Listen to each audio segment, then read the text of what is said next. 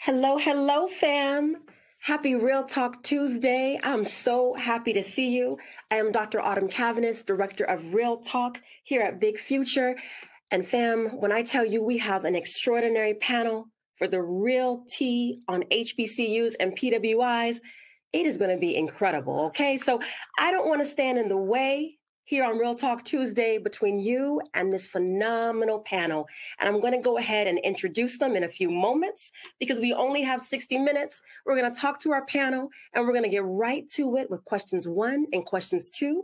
Then I heard the feedback, right? So over at Real Talk, we're always, always paying attention to the feedback. And last week I heard loud and clear, fam, that we want more and more questions. So go ahead and start entering those questions in the chat for us. And I promise this incredible all star panel with amazing students, we're going to get to as many questions as we possibly can today. And then after we get through some questions, we're going to play a little game called Big Facts or Big Cap. Again, that's Big Facts or Big Cap. And we'll get to that in a moment. And then we'll wrap up today's Real Talk episode with what's next. But let's go ahead and get to our panel, okay? Hello, panel. How are y'all doing today? Y'all good? All right. So I'm just going to go ahead and start with Michael. Michael, tell us who you are, hometown, major, class year, university, what you're known for on campus, all of that, please. Well, my name is Michael Kabeda. Um, I'm Ethiopian first generation uh, student out of my family. I'm a financial planning major here at uh, University of Georgia, and uh, I'm graduating. I'm a junior right now. I'm graduating May 2025 and uh, I'm known on campus. I, I, do I do a couple of videos online, and um, I, I, do I, I, like to do different different things like real estate and different uh, ventures within the financial world. And um, I'm open to answering any type of questions that you guys have regarding PWIs and anything that you guys have to throw at me. I can answer for you guys any questions about college regarding the life, the circle, friends, anything that you need answered. I, I'm here to help. So you know, that's that's a little bit about me. And uh, yeah. All right. Thank you, Michael. And I'm seeing on my screen, I see Isaiah next. Isaiah, how are you doing today, sir? I'm doing good. Um, hello, everybody watching. My name is Isaiah Hamilton. I'm a senior at Duke University, majoring in biology with a concentration in neurobiology, minoring in chemistry and global health.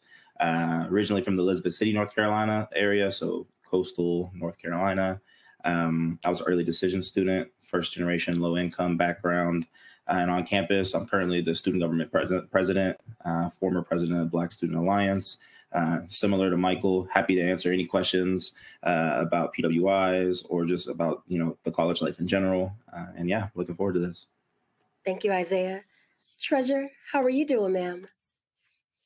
I'm good. Hi, everyone. I'm Treasure Wilson. I'm a recent grad at the University of Miami, and I'm from Tampa, Florida. Um, my major was broadcast journalism. I had minors in theater, political science, and media management. And although I graduated six months ago, now I host a sports show.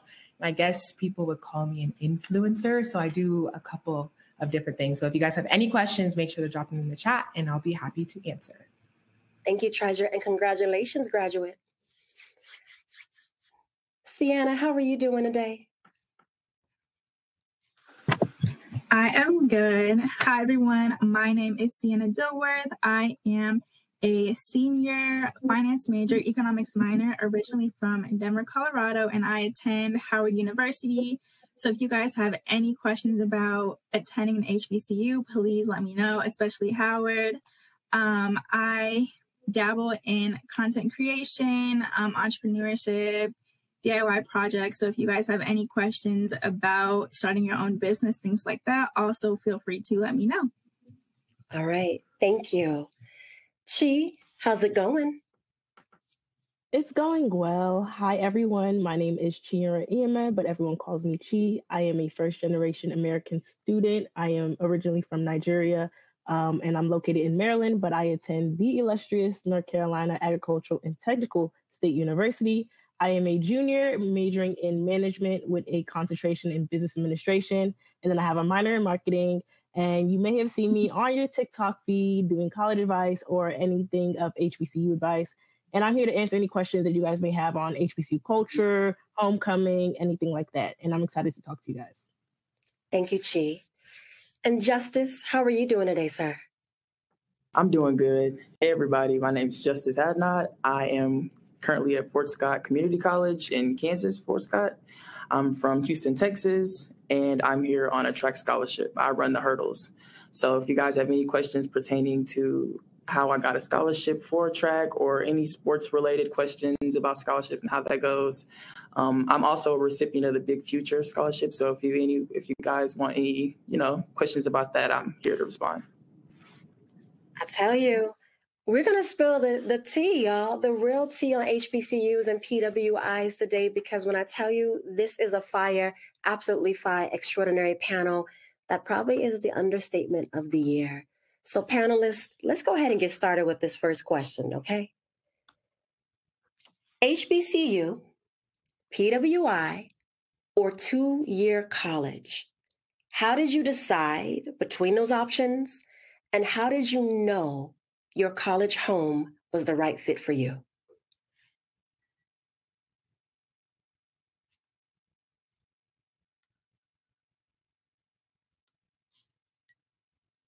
And anyone can jump in, panelist.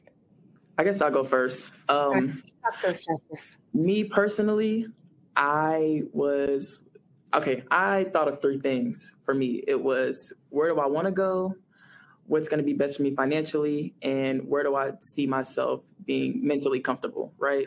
So when I was offered the scholarship and stuff, I also had looks from you know four year colleges and other schools or whatever. But my main focus was where can I go where I can my colleges my colleges pay for the most, right? So that's how I made my decision. And Fort Scott offered me a full ride. So I was, you know, for you hear full ride, you hear money, that's where you go. So I'm comfortable here. I like it. My school is paid for. I have friends. So yeah. That's about it. Thank you, Justice. Um, I can jump in next.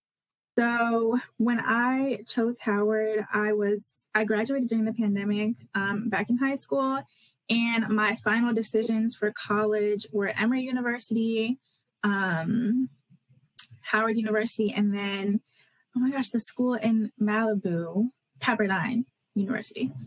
Um, so my decision to go to Howard, it's actually unfortunate because I never visited Howard's campus, but just hearing um so many good things about the school. I am also SOB, um, finance major. So just the opportunities that Howard had to offer, and also, of course, financially too. Um, I chose, I think I chose the right decision.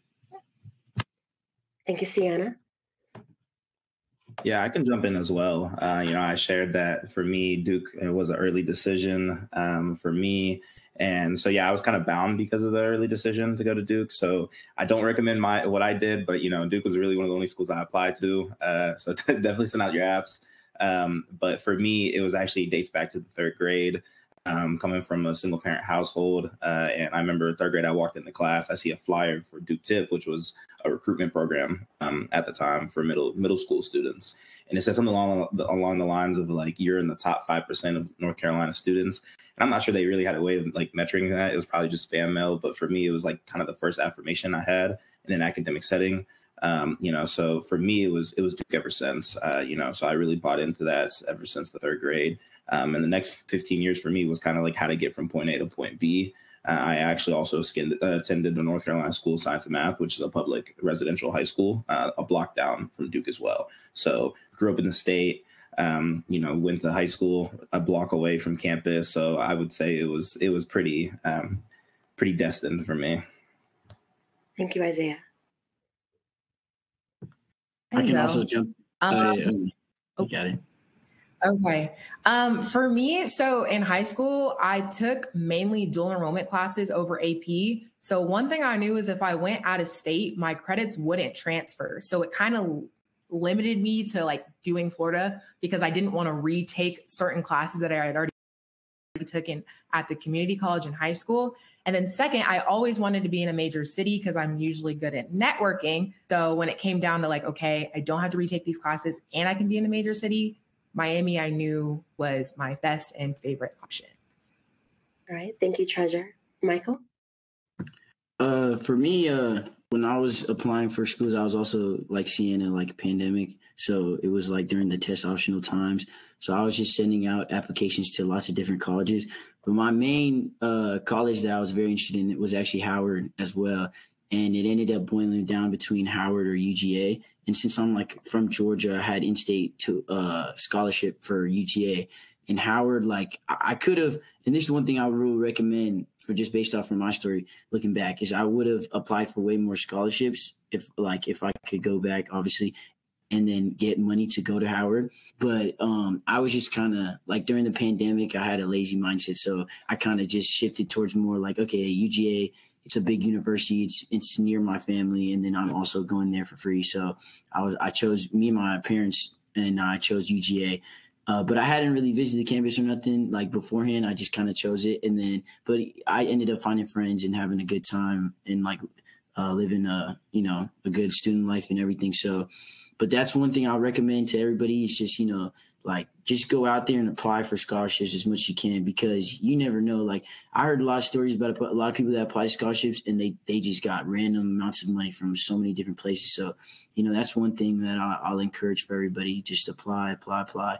But uh, yeah, that's just how I ended up where I was. So yeah.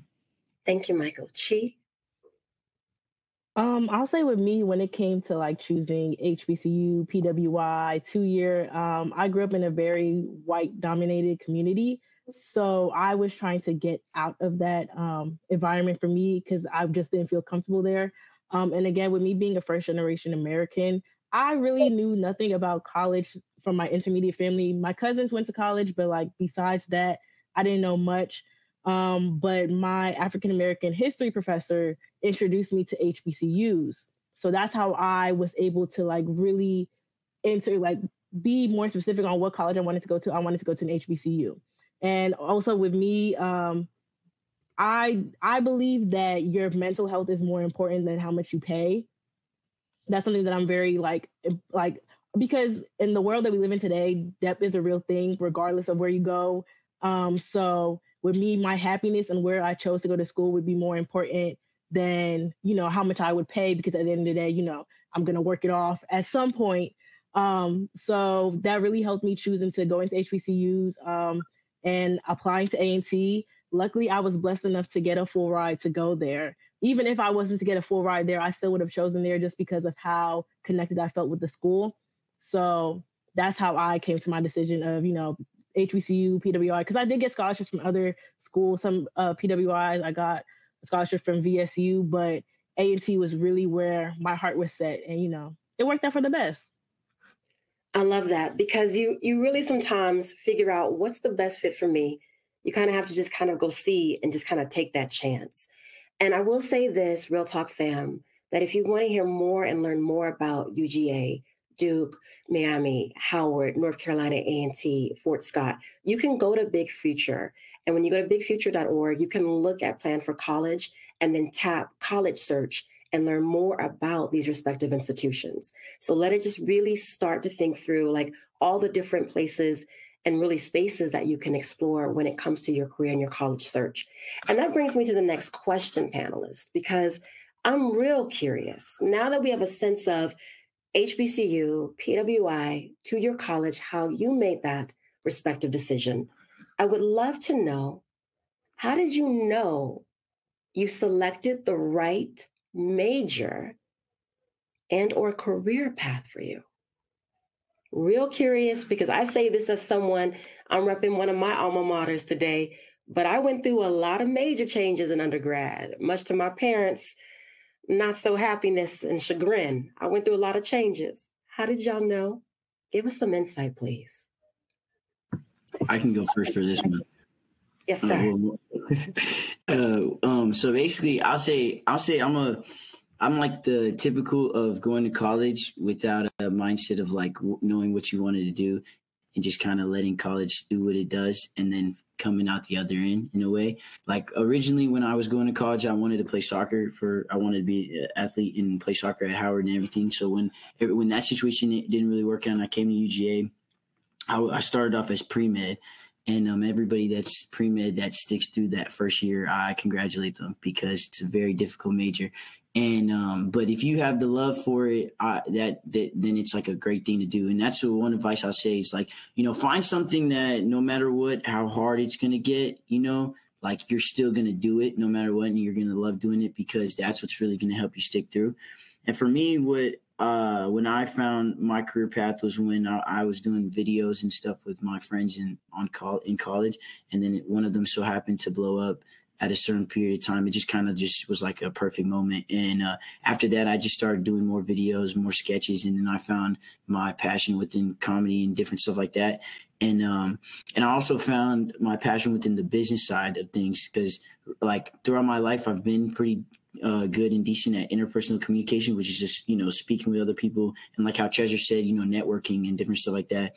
Like I've that's always been my strength. So I switched over to business and I became a financial planning major because I figured like financial literacy and knowledge is pretty important no matter what major or career you're going to end up with outside of college because you know like your major doesn't always end up what you do outside college. You might find different stuff, but you're always going to need to know how your finances worked out, how your portfolio needs to look, and investments, different stuff. So that's why I chose that major. And um, after ever since I've done that though, like life has been really good because I'm learning. I'm in classes that I'm learning stuff that even if it might be hard, I love learning it, and that's the advice that I would have for other people out there. So yeah, that's just my story though. Oh, that's a good takeaway you're finding something that you love and you enjoy and you're passionate about. All right. Thank you, Michael. Other panelists, talk to us. I can jump in next. Do you want to go, Treasure? It doesn't matter. You can go. okay. Um, so actually I didn't choose the correct major. Um, going into the pandemic, I was actually um, an international business major I don't know why schools have you choose your major as a freshman, which I think they should definitely change that. But after getting on campus, then I ch- uh, chose finance, which, which was an easy transition. But actually, like as a senior in college, I realized that I want to do like more marketing, um, sales, like more of the creative aspects of business, which I actually am grateful that I did choose to be a finance major because, of course, finance is important. And a finance degree is great regardless and it's still within you know business the school of business and a lot of things um, like marketing majors finance majors accounting majors we all have the same general courses that we need to take and then we kind of transition into our major courses so one of uh, my piece of advice is to kind of at least know what your interests are so that your college, um, throughout your college career, if you do want to change that, then you're already in the proper school. Um, I think that not kind of going into college um, and not knowing, okay, maybe I want to do this, maybe I want to do that. Like try it all, especially before you go um, into your major and so, so that you can graduate on time. You don't have to pay additional money to do different things. But yeah, even though I did choose the wrong major, being in business, networking, internships, like I still have opportunities to make that career shift even while I'm still in school. Thank you, Sienna. Treasure? Yeah, so for me, it's actually funny because I was really good at math and sciences in high school. So I thought I was going to do engineering, but there is a difference between what I was good at and then what I enjoyed doing. Like all my life, I was always working with the camera, editing, like doing video edits. And so that's when I decided, let's try broadcast journalism. So at U Miami, there's a cognate system where you have to try three different things there's people in society, STEM, and arts and humanities. I remember for one of my STEM classes, I had to take a coding class. I did not like it at all. So, like trying those different classes as a freshman, it still, you know, met your degree requirement. It showed me, okay, this isn't for me. And then when I realized I was liking the journalism type classes more, um, we actually had a program called UMTV. Miami has a lot of like in person type of things that you can join to see if you like it. So um, I auditioned. I ended up anchoring my freshman year, literally two weeks in being into school, and I got to try it out. And originally, I did political news, and I was like, I don't really like, I don't really like this. Then I tried the sports show and I ended up excelling better at that and then realizing that's what I wanted to do very, very, very early on, which kind of helped me throughout the rest of my uh, college years. Thank you, Treasure. Chi and then Justice. Um, I think with like knowing what my major was and like how it fit me the best, honestly, I say the best option, well, what worked for me was choosing a very general major, but then focusing in on my minor. So my major is uh, business, business administration, which is very general in um, the real world. And then my minor is in marketing. What I want to do in the future is social media marketing. Um, so with the business classes, you'll take like general courses teaching you about everything about the business. But then with the marketing classes, you'll learn about specific things like social media marketing, retailing. Um, and with that, it really helped me understand the business world, especially as somebody that does content creation. You want to understand what you're getting yourself into. Um, and it just worked with me, like it fit.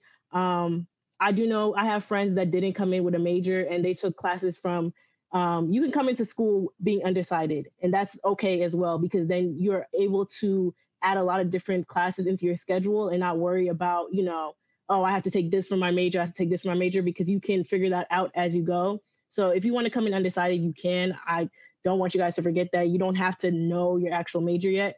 Um, but i will say um, like treasure said it, you're good at certain things but there are things that you're interested in. So i definitely say what you're interested in should be play a very big role on the major that you choose because you don't want to be working somewhere that you just get tired of. You want to be enjoying while you work.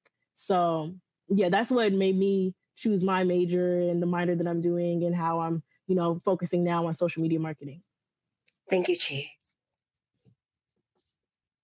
So for me, it's a little funny. My influence to picking what I wanted to do was my parents and TikTok. So my parents, my dad and my mom, they were basically like, well, my dad and my stepmom, they were basically like,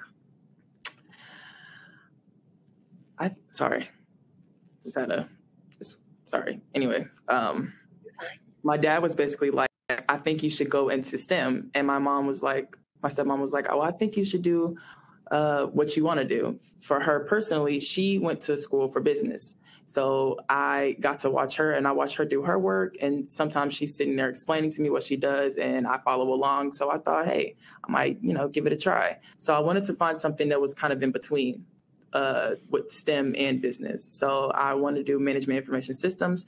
So I started looking it up on TikTok and I started finding people that had that, those type of degrees there. And I watched their lifestyle and how their workload is. And then I went into YouTube and I watched videos on what the degree pertains and what kind of jobs I could get. So it was kind of more of like a like kind of like a scavenger hunt for me. I was floating around different different socials and watching different people's perspectives in the the degree. So yeah, that's kind of how I figured out what I wanted to do.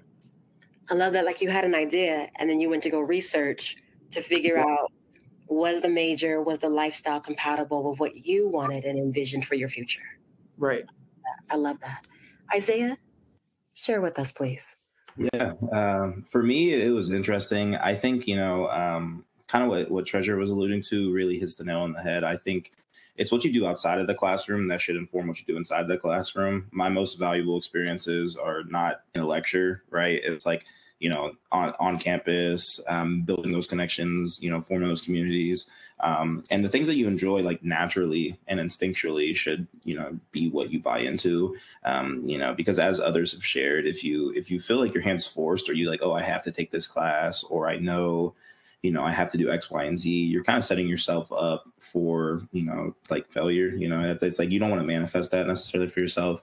For me, similar to Justice, um, my, you know, my my upbringing kind of influenced what I wanted to do. I was raised by two nurses, uh, so it was kind of work gossip, you know, on the way back from work of like, oh, she said this or he said this. That really got me interested, um, you know, in healthcare. Uh, so I am on the the pre medical track. Um, as I mentioned, my major is um, biology with a concentration in neuro, and that's something I really want to highlight as well. Is you can kind of specialize even within your major or your minors. Um, I know it's different for each school, but for Duke specifically, there's programs like program two where you apply and you actually curate what you would want your major to look like um, and you formulate your own curriculum so like even if you feel like maybe your interests lie in between majors there's still usually opportunities for you to vouch for yourself um, and for me i wasn't interested in all the broad categories of biology per se um, however i knew i was really interested in the brain you know like what makes us tick um, you know as human beings uh, so I specialized and concentrated in neurobiology. Uh, you know, so a lot of what I take is neuroscience classes.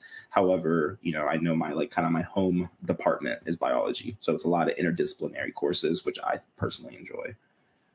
All right, I love it. So phenomenal panel. Let's go ahead and get to some of these questions because as we can see, we have questions from Real Talk fam. All right, so this is from Elizabeth. Elizabeth wants to know do you feel that there is adequate inclusion at your PWI for people of color? If not, in what ways could it be better? And we're going to take just the first two responses because we're going to get through as many questions as we can. But, panelists, do you feel that there is adequate inclusion at your PWI for people of color? And if not, in what ways could it be better? Thank you, Elizabeth. I can take this I can one. go. Oh, Oh, got it. You got Okay. it. okay. So, um, at UGA, I'll say, I'll say at UGA, um, it's a like it's a little different from what I was like raised from. I was I was raised in like the inner, not the inner city, but like in the metropolitan area of like Atlanta. So like like I was about twenty minutes from Atlanta. So it's everything that was around there. And when I came to UGA, it's like Georgia as a state is um Atlanta and then it's Georgia, and realistically, and it's like a whole nother world, and it's like it was a whole nother culture, and it was and it was a lot, it was a lot different, and it was overwhelming at times. However, um, the greatest thing about UGA is we have this thing called BUGA, which is Black UGA, and and we're we and we're we're pretty prideful on the fact that at a, a lot of different PWIs, we have a very very strong Black community. Um, although the percentage is is, uh, is pretty low, obviously, um, it's like you would you couldn't tell that the percentage is as low as it is. Because it's like as soon as you come in there's so many um, organizations and uh, clubs that are out there that are just asking you come come to meetings come join find your friend group find the people that like have the same ideals as you that look like you that you know that might that make you more comfortable of where you are you know? And um BUGA is a, did a really good job with that at uga and um, so I'd say at UGA we have a very strong black community, and it's like if you wanted to like have like it's like we call it it's like a little mini HBCU that we got going on here. So it's like well you know it's know we're scratching the head, but it, yeah, it's not a mini HBCU at all. But I tell you like it's a very tight community, so it's like you're not gonna feel really like that bad. I'll just say that. You know, like when you're walking around main campus, you might not see, but we have this like for example, we have this thing called Tate Time where the Tate Student Center is where like the it's like the main thing on campus and we have this thing where it's like, you know, every day at like I feel like it's around from like 11 a.m. to like about 1 30 p.m. It's just all like, you know, people of color. We come to this certain pot, spot and take and it's like, you know, you talk, you talk about classes, whatever it is. And so it's like, I, I'm just letting you know that it's like, don't look at the percentage and then think it won't be as good if because we do like you know some colleges might have a very strong community there so that's what i was going to say but yeah All right. Thank you, Michael. One more response. Treasure, were you up next? Yeah. Um, I would say I think that scares a lot of people initially when you start looking at percentages and then you see that there's not that many Black people at the school, but we do form a very strong community. So we literally had like a Black student group chat with like everybody in it on GroupMe where we could ask questions, things that we were confused about. There's also a lot of clubs that you can join. I mean, we had United Black Students. I mean, we had a CSA club for um, if you like were from the islands or you know wherever you may be from um, we have an african student union. So we formed a lot of communities within each other. There's also greek life. And then i mean in my situation we are in the city of miami. So i mean we had fiu very close and then um, an hbcu florida memorial. We had a lot of combined events where we kind of all came together. So i never felt like i was in a position where i was alone because we all really did join forces if there was something even if there was something that we needed to talk about, I mean, I know you guys see like there's a lot of things happening in Florida as far as like rules, legislation. Like we definitely came together and had those conversations. And if there was something that we didn't like, we would bring it to administration. So I think we had really good community and you're never going to be alone because there's always somebody that you can talk to. All right. Thank you, Treasure. So we also have another question, and this one is going to be specifically for Chi. This is from Jordan. And she Jordan wants to know, I want to go to AT, A&T for music performance, and I also want to do broadcast journalism. Can I do both of those? And also, does A&T have an orchestra in general? Thanks. Um, so Jordan, that's a great question to ask. Um, when it comes to music performance and then also with journalism, um, those are going to be in two separate colleges. But what you can do is you can choose one as your minor. You may have to stay maybe an extra year or so to catch up, but you'll be able to do both in that aspect. And sadly, no, A&T does not have an orchestra, but we do have organizations on camp for people that are more on the orchestra side when it comes to music and then also we have our Blue and Gold Marching Band, one of the best bands in the HBCU nation. Um, so, you know, Isaiah knows, yeah. So if, even if like we have a lot of music classes, um, and you can implement yourself somewhere there, but I will say you are able to do both, but you can't. Well, you could do both as a major, but that would spend you would be probably spending about six years in college instead of four. So I say the best option is to choose one as a minor and take some of those courses as well and, you know, balance it out. All right. Thank you, Chi. Now, this is from Jalea. All right. And this is real, real tea on HBCUs and PWI's panelists. Okay. So Jalea wants to know, she already knows, like, she's like looking at me nonverbals. All right. How do you guys feel about the statement? You can't go to an HBCU college because you won't get a job.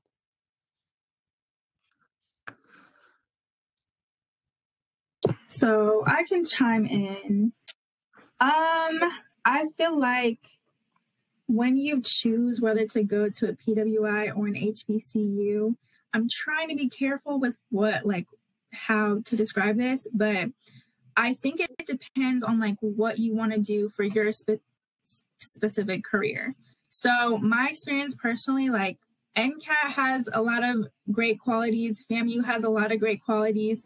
But like every other school, it does have things that also lack.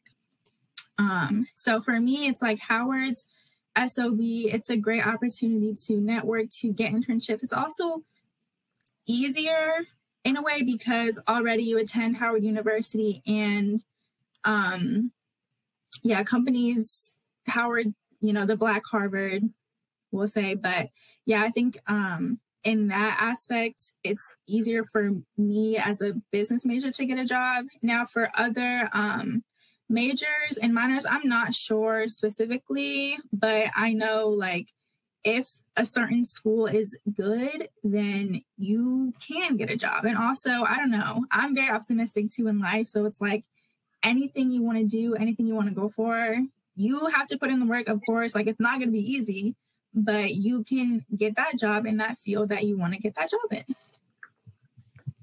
Thank you, Sienna. Um, also, I'll chime in and say this when it comes to HBCUs and job opportunities, I will say, as a Black student, it's in my opinion, it'd be easier to get a job through an HBCU than a PWI because they're already looking for the minority people when they come to an HBCU. So you're not fighting against everybody. You're just fighting against people that, you know, look like you if that it makes sense. Does that make sense, y'all? Okay, so that's I'll say that it's a lot easier to get these opportunities because they're always looking for. Well, a lot of these jobs are looking for more minority people in their jobs. Um, I know with me, I already have two jobs set up by the time I graduate, and I'm still a junior right now. So it's really again about how much effort and work you put in because you know even if you might like you have to put in the work they're not just going to come with you with a job regardless of what school you go to even if you go to harvard or anything like that. If you don't have nothing on your resume nothing like that they're not going to look at you. So it's really the hard work that you put in. And also a lot of these opportunities have to come from your own research as well. They aren't going to always be coming out and looking for you. I've found opportunities from other friends from different schools. They're like hey chi you might fit this in better than i will. And they go to you know schools in California and stuff like that. So it really is how much work you put in, um, not really what school you go into. So yeah. Thank you, Chi. And this question, this is specifically for Isaiah. And this question is from Amaya. Isaiah, were finances ever an issue when applying to Duke? If so, how did you overcome that while applying early decision? I really want to apply early decision, but I don't have the finances available to me. And I'm worried that if I commit and don't receive scholarship money, then I'm stuck. Thank you for your question, Amaya. Isaiah? Hey, Amaya. Yeah. So I think that's definitely the elephant in the room for a lot of people, you know, when applying to a school like Duke. Um, and, you know, for my situation in particular, I was first generation and low income. Um, and I actually am not on a full ride. I do pay, um, you know, slightly to attend my university. Um, but what I will say is, um, what Duke does guarantee is that they they match your need or you know demonstrated need. So Duke requires what's called a CSS profile. It's actually through College Board um, and uh, the FAFSA as well, which are like two financial aid um, applications. And for me, I submitted both of those that demonstrate your need, and then financial aid was able to take majority of you know um, tuition fees and kind of match what my family's demonstrated um, you know financial capabilities were. Um, I also second the notion of applying to a lot of uh, scholarships. Uh, that was able to make Duke a lot more affordable for me as well.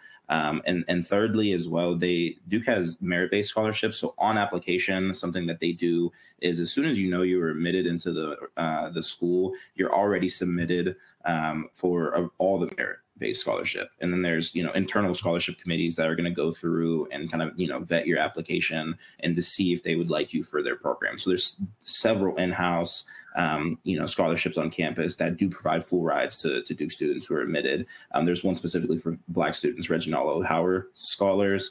Um, he was the first black student body president on campus and they made a scholarship after him. So there's you know a lot of opportunities. I think um, but you you do have to you know um, be kind of aware of what your capabilities are financially when applying to a school like Duke, um, and really exhaust your opportunities when it comes to scholarships. Maybe it's grants, um, you know, and and trying to see specifically what your interests are and if you know your interests align with high tuition costs.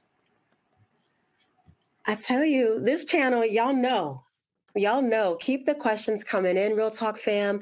And we're going to go ahead and we're just going to play a little game. All right.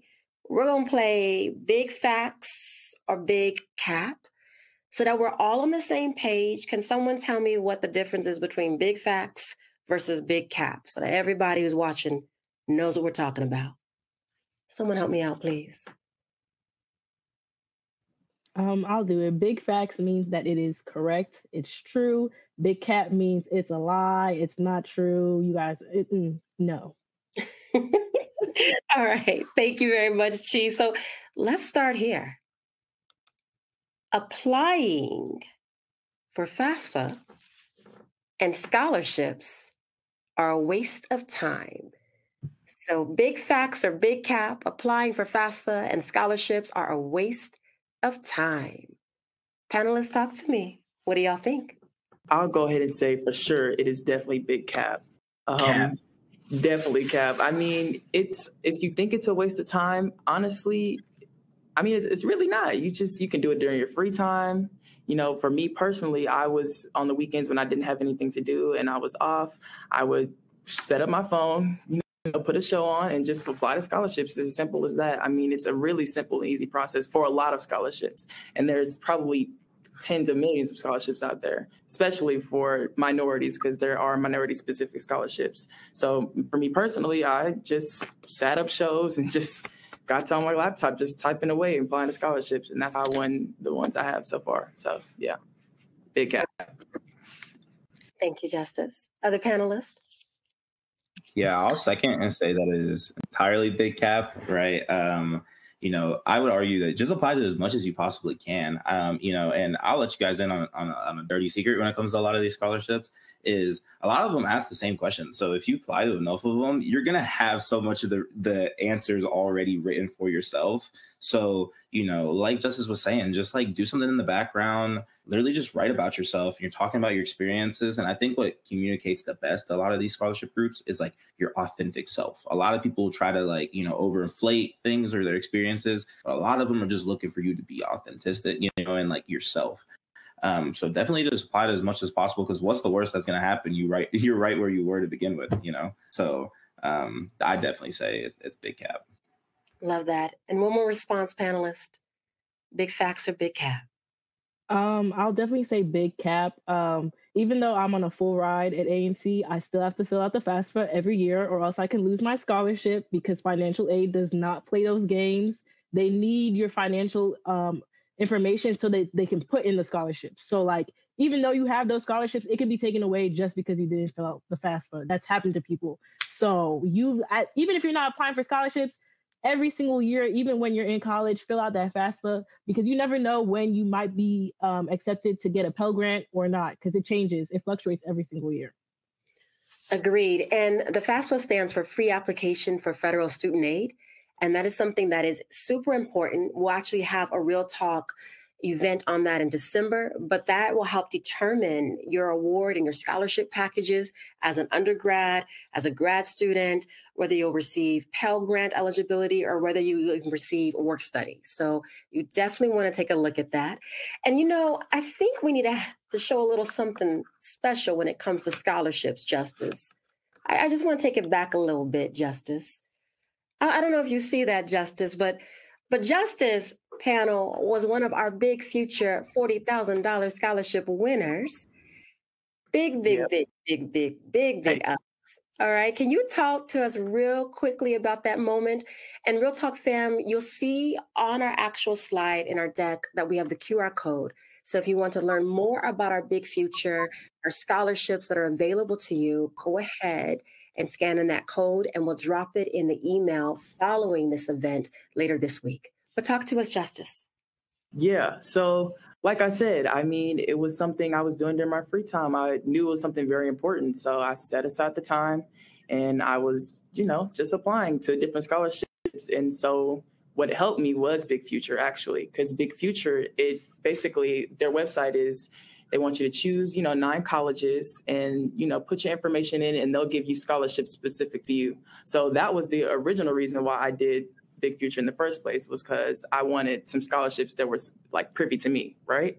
So I ended up putting my colleges in, and I ended up uh, getting like doing the scholarships, doing the little games they had, and then I found myself completing all all of the objectives they had on there. So I honestly didn't think I was going to win. I was just doing something I felt that could help me, right? I the scholarships they gave, I went and applied for them. So I thought nothing of it. And then months later, I was brought in front of my school and they were asking me questions, and I was I was kind of like, "Where is this going?" And then they were like, "You won the forty thousand. I was like, "Oh!" And then my family popped out. It, you know, it was a whole ordeal. So it was very exciting. So if in the in the moment, if you think it's not worth it, just I say manifest and trust the process because you never know. You really never know. I love it. And as Justice was sharing, the more steps that you complete on Big Future and the earlier you do it, the more chances that you actually have to earn either a 500 or $40,000 scholarship while you're in high school. And there's no GPA requirement, um, there's no income requirement, there's no major requirement. It is just an opportunity for you as you're learning about your college and your career and the path that you want to take. All right, so amazing panelist. One last big facts or big cap question here. Your squad matters. Big facts or big cap? I'm curious. I can go again. Um, I'll say that okay. it is definitely big facts. Okay. Um, especially in a PWI setting, right? Like one of the first things that was really important to me is finding my community in a place that can seem very, you know, um, not homey, right? Uh, and, and when you're trying to just navigate a space that might be foreign, you know, especially for me, um, there's not necessarily a roadmap of like what to do when you're first generation. You kind of just get to campus like, oh, I'm here now. Now I just got to go explore. Um, and you know, for for me, it was it was definitely Black Duke. You know, kind of to what Michael was sharing about UGA. Duke's very similar with like, and you know, with what Treasure was saying with Miami. Uh, Black Duke is very tight knit, and it's even more tight knit within our, our Greek life, um, our Divine Nine. Um, and you know, I'm I'm a proud member of Phi Beta Sigma Fraternity Incorporated, as well as you know, um, Black Student Alliance um, on campus. And for for both of those organizations, it really plugged me into the people I have stuck with for my entire Duke career. Like these are my best friends from freshman year, um, all the way now that I'm a senior. So you know, like I would say, your squad does matter in the sense of you are who you who you surround yourself by. You know, so like, and I say that to not be discouraging, but you know, it's it's really easy to get caught with you know maybe the wrong crowd or somebody who's not going to pour into you the way you want to be poured into or not fill your cup so to speak. Um, so if you know you you know the things that you care about very deeply, find other people that care about them. Or if you have a good idea, find people that have that same idea or want to uplift those ideas. You know, um, and I promise you, especially you know at any of the schools um, that any of us are at, if you have an idea, there's never a lack of good ideas on these campuses. It's really just a matter of like going and pursuing them. So yeah, squad definitely matters. All right. And I, I would like to say, I would like to say, um, squad definitely matters for sure. Uh, definitely.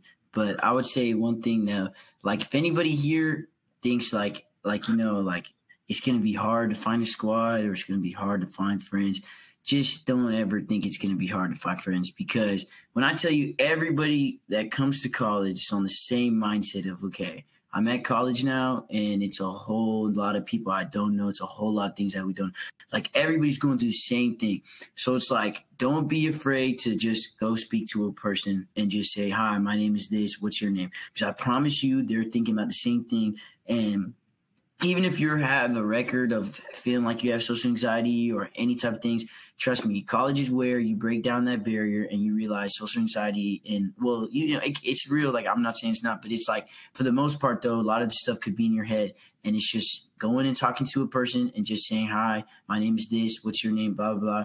And also you'll learn, and this is where I feel like where your squad really matters because you, you might start off with a certain group maybe and if in like on freshman year, and then you might not end with the same group senior. But you don't have to ever feel bad about that because it's like whatever route is gonna happen through college, just let it take you because it's gonna take you to the right route, you know. And I mean, I just I got lucky with the friends that I found my, but like going to PWI, you you get like a little bit lucky just because you have it's just like a small selection so it's like you know you find your friends and then that's gonna be friends and you guys will mold to be better because you might start off doing dumb stuff maybe in college or anything, but then you realize it's serious and you'll mold together and you guys will be a well-oiled machine. So don't ever feel stressed when you get in there, like, oh my gosh, how am I going to make friends? Because that was one thing I was thinking about. And legitimately, my first day, I just go to like a cookout thing, and then there's my best friends for life. You know what I'm saying? And so it's one of those things where I want you guys to understand, like, don't be stressed out about any of that stuff. So that that was just what I was going to share. I Go oh, ahead. Oh, can I jump in? Absolutely. Okay. Um, I love that for Michael. I do. Um, me, I don't think I had a different experience. It was like, oh my gosh, going to Howard, I definitely thought, oh my gosh, you know, I'm gonna find my girls, like my girl group. So excited. No.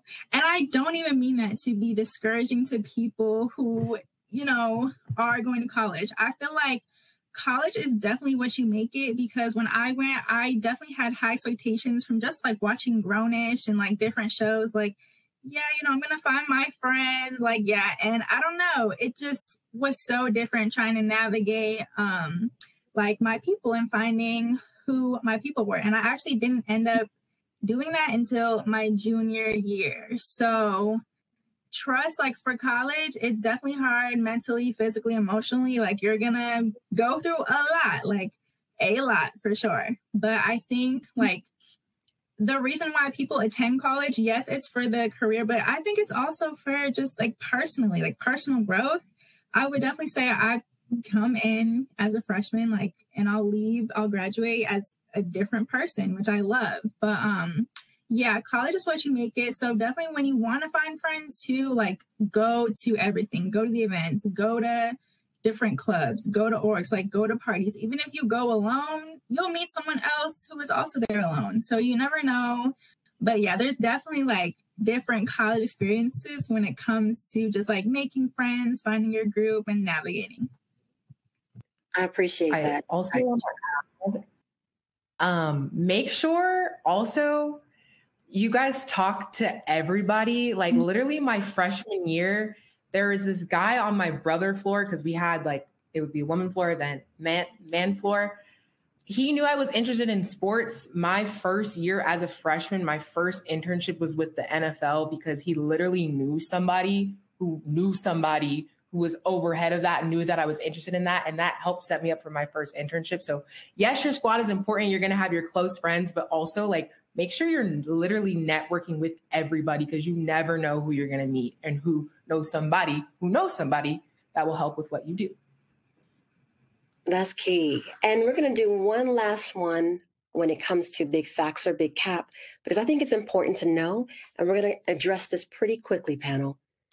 Self care matters. Big facts or big cap. Self care matters. Big facts. Big Big facts. facts. Big I facts. want. I want to. Big I'm gonna say one. I'm gonna say one short thing about self care. No matter what in your in your life, always make sure you're good before anything else. And like the one thing about college that's gonna happen to everybody, and it's a good thing in the sense of like it'll build your personal growth that Sienna talks about. But it's like you will get caught up within it, like within the emotions of test, school, plus friend group, plus everything. Like there's so much that goes on because you come from high school with your parents and everything, and you come into a world that's you're by yourself, and there's a lot of things that happen. And there's one thing: if you're not feeling well, or if you feel like you just need a mental break or anything, do it. Make sure you're okay first, because you can't you can't grow and your brain can't learn and you can't do things if you're sick and you're bedridden or you're you're mentally just blocked and you can't. You know what I'm saying? Like self care is number one to going further in life. Always, just to keep it short. That's that's what I was gonna say. I do want to add, um, since this is real talk, I'm going to be really real. Um, when I first got to college, because I'm in my freshman year, I, I, I'm not gonna lie, I hated it. I was like, ah, I miss my home, I miss my friends. I was, I was like, the, the practices were hard. I was like, I was all in my own head, and um, I was like, oh my gosh, I can't do this. But I feel like you should give it time. Give it a little bit of time, and like they said, try to branch out. I was talking to some people in class and I started going to the meet like the athletes hang out and stuff. And now I like it. So I just say give it time. Give it time. It, maybe at first it seems hard and you feel like you can't do it, but just give it time. Mental health is definitely a thing, though, for sure. So yeah. Thank you, Justice. And Chi, were you going to say something? Um, I'll just say, you know, mental health comes first because you can't really do anything if your mental's not there. So really like really lock in with that. Do make sure you are taking time for yourself, regardless of how much you put on your plate. Take time for yourself because the pressure will make you fold multiple times. So you have to take that time for yourself, breathe a little bit. It's okay. Your college experience may not look like somebody else's, and that's how it's supposed to be. If your college experience looks the exact same as somebody, you're not doing college right. Um, so yeah, take your time. Oh, the panel, I tell y'all, the panel is giving real, real talk on this, fam, because I always say when I'm working with my students that how you handle and navigate undergrad and the routines and the steps and the self care that you build now is what's going to carry you in your 20s and your 30s and beyond. So that self care is important. All right, so we only have a few more moments left, but I want to talk about our Real Talk mail. If your question by chance was not answered, please feel free to send us an email, and you can send us an email at realtalk at collegeboard.org. And panelists, we had our first email come in last week, and it was from Promise. And Promise, big shout out to you because you literally emailed us right after the event, and you asked a question about what are some HBCUs that focus on the medical field. And fam, I went ahead and put a QR code up for you that if you just take a quick snap of, you'll be able to see all of the HBCUs that we have in terms of finding information over on our website over at Big Future. So go ahead, take a quick snap of that, and then send us your questions if you want to know more. All right, panelists, I'm gonna have one last question for you in a moment. So I'm gonna let you think about it in a second. But Real Talk Fam, coming up next, we have Being Black in Gaming. That's going to be a POV coming up November 7th, as well as Being Black in Pro Sports November 14th. You can always find us on social. Look us up. We just spoke about Real Talk at collegeboard.org. And then you can always watch previous events at bigfuture.org slash real talk. So, esteemed panelists, final question. What advice would you give to your 18 year old self, knowing what you now know about life, undergrad, any point in between? What advice, esteemed panelists, would you give? Um, I'll go first. Yes, ma'am. Um, the most important thing that I would tell my 18 year old self coming into college, your freshman year grades sets you up for majority of the school year. You can raise your GPA, but like once your GPA is low, it's hard to raise it back up to where you want it to be. Um, and then also on top of that, um, stay true to yourself. Um, I feel like in the college world, we get so lost in trying, especially in the HBCU culture, we get so tied up with like social media and oh, I don't have a Telfar bag, I don't have a Marc Jacobs bag, you know, I'm not up there with everybody else. But like staying true to yourself is the most important thing because your time will come. Um, I know with me coming in as a first generation American, I didn't have a lot of things that a lot of people, especially going to A and T, a lot of people have. Um, but you know, I stayed true to myself, and it worked out for the best. You know, I'm in a place that not a lot of people at my school are at um, when it comes to doing what I love to do, which is content creation. So really, that's those are two things that I tell my 18 year old self. Make sure that you set yourself up freshman year, especially with those grades. Your grades should be the most important thing. Um, yes, you know, have fun and stuff like that, but that GPA is going to set you up for how high it's going to be at the end of your school year, and then staying true to yourself always, definitely. I appreciate that, Chi. I used to always say GPA can be forever, okay? So be mindful of that. Be mindful. Thank you. Um, I want to jump in next. Yes, ma'am. So I think I just want to tell my 18 year old self that it's going to be okay. Like, similar to what Justice was talking about, just going into college, like, I wanted to transfer. I was done. I was like ready to pack my bags, go home. This is not for me. Um, but also like 18, I'm 21 now. I never imagined like where I would be right now. Like life is truly crazy, y'all. Um, even just like starting content, like I'm working with, you know, huge brands like JBL speakers, Sony. I'm sitting here in front of you guys working like on a panel. Life is insane. So it definitely changes like try everything, do everything. I'd also say comparison is the thief of joy. When you go to an HBCU, just like any school in general, too, also just like being on LinkedIn and scrolling, you know, oh, this person has like the in, an internship at Microsoft, especially at Howard. Oh my gosh, like so many just you can get lost in scrolling and comparing yourself to other people and like you know even the journey like i was comparing my journey as like to making friends as someone else's journey like oh why why do i not have friends and they do? Like it doesn't matter. Whole time you know that friend group is not what it appears. So i would say just like comparison is the thief of joy. Focus on what you want to do what your goals are and like go after it. N- nothing else matters. You're here like college is only four years and you're here for yourself you're here to get to the next step where you want to be in life, what you want to do when you start your career. So, yeah, that's my advice to everybody. Thank you, Sienna. Michael? I'll, I'll, go, I'll go next. Um, one thing I'll tell my 18 year old self is I feel like, I mean, just like how Chi said, like if your college experience is like anyone else's, then you're not doing college right. And and and that's something that I don't even want to like. That's not even something to discourage you guys because your college experience will literally not be like anybody else. And it's not like out of your in your control and out of your control. It's just not going to be. And that's the beautiful that's like what's so beautiful about college. Um for me personally, my experience within college, it was just like in how Chi said, uh, your GPA in terms of starting off great. Yeah, it would be great, you know, to start off good. That's that's an amazing thing, right? Um, for me, I started off pretty terrible just because I came in pre med, didn't know what I was doing, just getting chemistry classes like you know whooping my behind. It was just like and you know i was ignoring it. And and then i found and then obviously with my viral video just sparked my interest in what i'm doing. But one thing i'll tell i would tell myself is just let life do its thing. Like it's just one of those things where it's like you know like there was times where i was just like i don't know what's gonna happen. Like i'm just like it's like it's it's looking like bad because you know my whole life i was structured i was like soccer school let's let's get this going and then came to college and it's just like nothing. Just it was flimsy, like and so it's like life looked like it wasn't going any direction. And then now I'm in my third year, and like Sienna said, I mean, I'm an I'm an inf- not I mean I wouldn't call myself influencer, but like I do a content creation.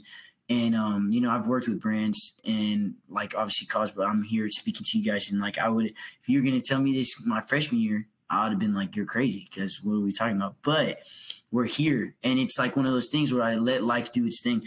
So I would just tell myself, like, look, try to do as good as you can. But even if you do as good as you can and you don't do good, it's still doing good because, like, it's about how consistent you can be at doing good and just understanding that it's like, you know, you can be consistently good at what you're doing, like, you know, going to class and doing anything. And then maybe your GPA isn't good, but it's like you're learning though and it's all about what the knowledge that you have in your in your brain that's going to take you when you come out of uh, uh, college. Because people still in college that'll try to inflate their gpa and just look really good. But then when you get into the work field it doesn't matter about what your gpa wasn't necessarily. It matters about how much knowledge you actually gain from all these classes that you're taking and everything.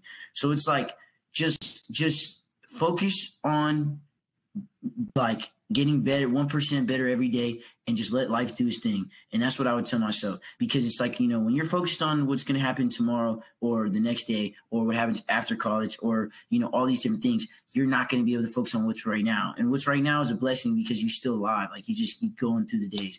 So that's the biggest thing I'll tell myself. Just, you know, be happy where you are and don't be overwhelmed by anything that's going on because tomorrow might be a better day the next week might be a better day the next year might be a better year. You know what i'm saying? So that's just the biggest thing i would say and that i would recommend for myself.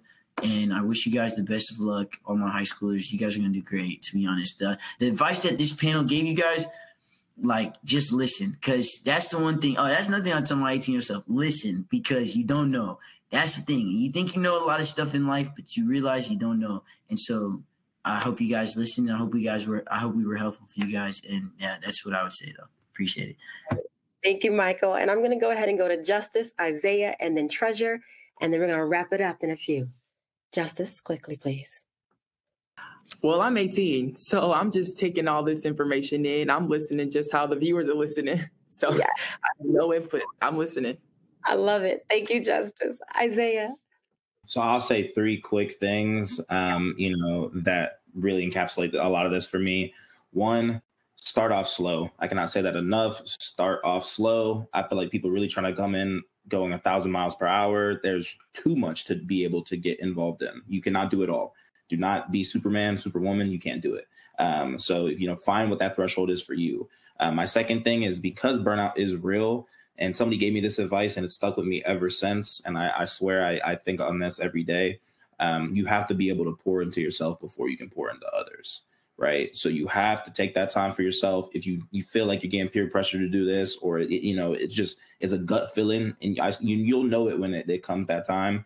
But, you know, listen to your, your, your gut and follow your instincts. And, you know, and that segues perfectly into my last advice to my 18 year old self, which is learn to say no please learn to say no. Um, because you know, I found myself into too many scenarios where I'm sitting here thinking, why am I doing this? Like, who am I doing this for? Right? Like, you know, why am I doing this, Isaiah? And um, you know, with that said, uh, there's gonna be too many people who are probably gonna be asking you to do things, you know, do X, Y, and Z, and you'll get stretched out thin, you'll get burnt out, and you won't have the time to do the first two things I said for yourself. So learn to say no. Um, you know, learn to say no. Start off slow, and you got to pour into yourself before you pour into others. Ooh, the panel coming through. Y'all coming through all the way. All right. Our recent graduate, Miss Miami, Treasure, talk to us. Yeah. So I would say there is no guide to life. I think people want to be like, oh, I got to go to this college to go do this. I got to work this job to get here. I got to get this score to get there. Like, make the best decisions for you and just try your best. I promise things will work out if you're hardworking. I never would have thought that when I graduated in May, like one of my first interviews would be Stephen A. Smith. Like people told me that couldn't be done, and it happened. Um, I mean, you are the writer of your own story, and you are the only one who can finish that. So just work hard, obviously listen to people around you and just know that you can get it done. I know it sounds stressful now, but one day you'll be in school, it'll all be over and you don't have to worry about all that stuff you were stressed about in high school because I promise you, high school goes by fast. So I believe in all of you guys and thanks for joining the panel. All right. I told you the panel was going to bring it, y'all. Totally bring it. And I just have to say this as we end you got this. The panelists have given you so many jewels today, Real Talk fam, so many jewels of advice. Know that over here at Real Talk at Big Future, we are here for you. We are here for you finding your future and being able to own your future your way. So, fam, on that note, have an amazing, amazing day. Panels, we waving bye. We out here. Y'all can wave bye. See you next week. See you in November. Bye, fam.